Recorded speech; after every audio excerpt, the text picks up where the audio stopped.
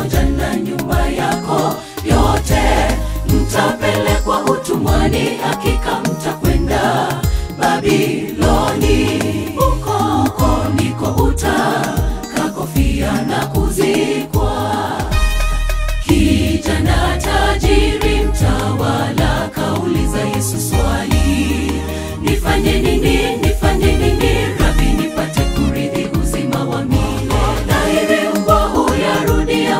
mapishi yake mwenyewe, huoshwa na kurudi kukaa.